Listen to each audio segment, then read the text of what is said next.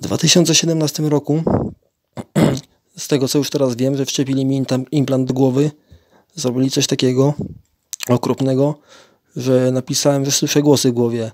Straszny wrzask, huk i mówienie mi takich rzeczy, które mi do głowy nie przyszły nigdy. Okropny, okropny cały czas. I cały czas. Może, może nie non stop, ale większość czasu. Większość dnia. Jest, to było tak nie do zniesienia, że nie byłem w stanie tego z- znieść. I napisałem w końcu, że zasłyszę jakieś głosy w głowie. Oni wtedy wysłali mnie na oddział y, dla upośledzonych i chorych umysłowo. I, I dalej nie wiedziałem, co to jest. I dalej nikt mi nie chciał powiedzieć, co się dzieje. Później trochę to ucichło, później znowu się zaczynało. W Łowiczu znowu się to zaczęło. Y, Później znowu się kończyło. No i teraz od dwóch lat no to znowu jest nie do zniesienia.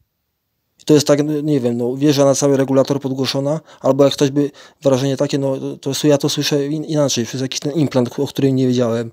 Ale to jest tak, jakby ktoś by przystawił mi usta do bezproszenia do uszu i do obu usz, dwóch uszu krzyczał mi non stop. 2-4 na dobę, 7 dni w tygodniu, non stop bez przerwy. A Od dwóch lat to jest naprawdę katastrofa.